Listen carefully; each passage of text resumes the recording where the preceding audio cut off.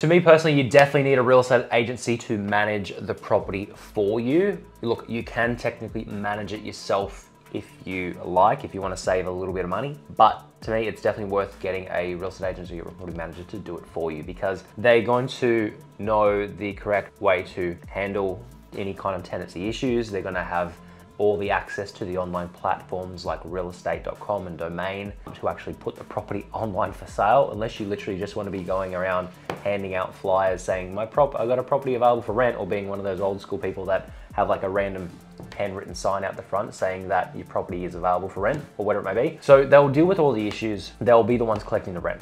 They'll also, you know, do like routine inspection reports and make sure that any maintenance items get, you know, rectified if anything ever happens, like the tenant damages the property, they'll be able to do the insurance claims.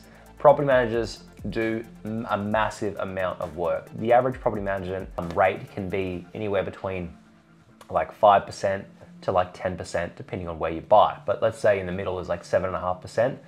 If your property is renting for like 400 a week, like that might only be $30 per week. So $30 per week over a year might be like 1500, 1500 bucks, 1,500 and that automatically comes from the rent anyway. They, but they might save you 10 or 20,000 in terms of being able to get a, a, tenant in there quicker, screening the tenant, making sure you get the right tenant in there, administration work, like how much is your time worth? I would definitely always use a property manager and always have, always will. I've never tried to manage a property on my own.